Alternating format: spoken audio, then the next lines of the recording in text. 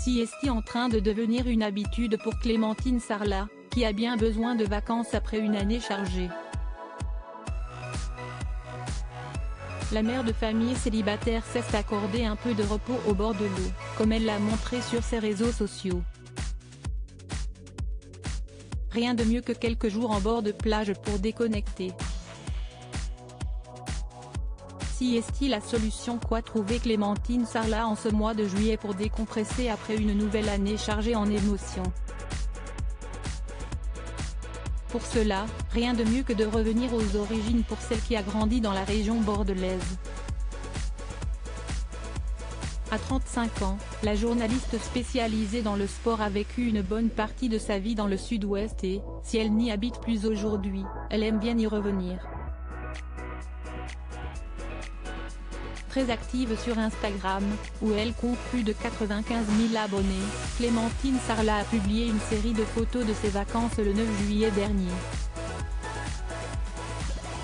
Sur les clichés, on peut la voir radieuse, casquette et lunettes de soleil sur le nez, en bikini, en train de se faire dorer la pilule sur le sable fin.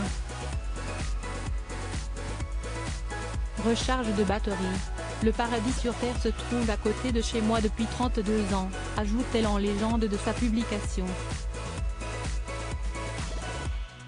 Sur les autres photos, on peut voir que la journaliste passée par France Télévisions n'est pas seule.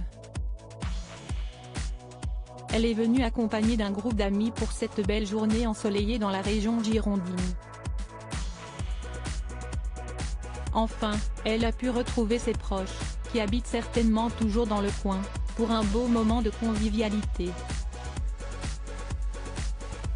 Une année compliquée pour Clémentine Sarlat ce n'est pas la première fois que Clémentine Sarlat s'offre de belles vacances de la sorte.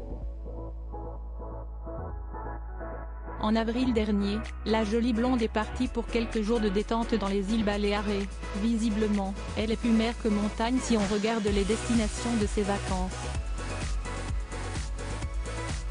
Il faut dire qu'elle a certainement besoin de souffler, surtout depuis qu'elle est devenue mère célibataire et qu'elle doit s'occuper de ses trois filles. La maman d'Ella, Jasmine Edjoun est séparée de l'ancien rugbyman Clément Marie Inval, qu'elle avait épousé en septembre 2021. Depuis, elle fait au mieux pour conjuguer sa vie professionnelle et l'éducation de ses filles. Si est fou comment, en un an, ta vie peut basculer. Comment tout peut s'effondrer ou se reconstruire, écrivait-elle au moment de l'anniversaire de sa petite dernière.